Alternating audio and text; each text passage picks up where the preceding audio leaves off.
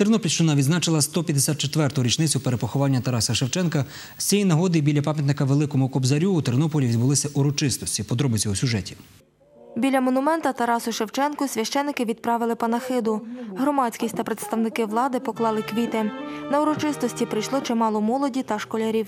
Для мене Тарас Шевченко означає найвидатнішу людину з цієї історії України. Я вважаю, що ми завжди щодня маємо про нього пам'ятати, згадувати. І от такі дні, як сьогодні, маємо з почестю е, так само пригадувати. Тарас Шевченко для мене це, мабуть, найбільший е, син українського народу. Він, ем, він, він дуже велик, його творчість важко переоцінити. Його він фактично підняв український дух. Він е, завдяки тільки завдяки йому дуже багато людей стало на, на шлях патріотизму і любові до України. Для українців Тарас Шевченко є прикладом боротьби за державу, символом патріотизму та уособленням любові до співвітчизників. Нині Шевченка цитують у різних регіонах України та світу. Непередбачення майбутнього є місією пророка. Місією пророка є свідчити про істину, говорити правду.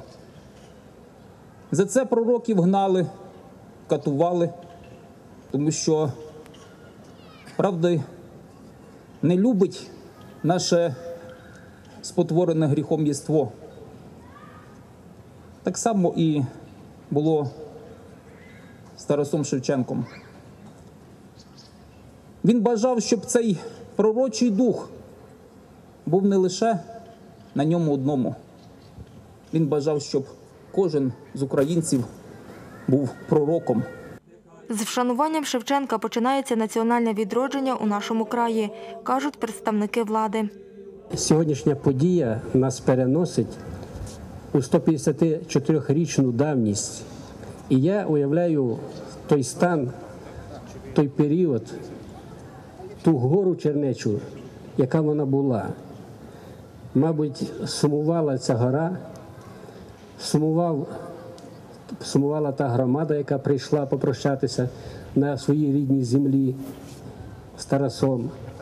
Сумувала вся Україна, але, мабуть, було одне приємно на душі, що Тарас, хоч вже в такому стані, повернувся його прах на рідну батьківщину. Тарас Шевченко заповідав, щоб його поховали на Чернечій горі, щоб він міг бачити Дніпро і свій народ. Відтак чимало українців у ці дні їде до Канева, щоб вшанувати великого кобзаря.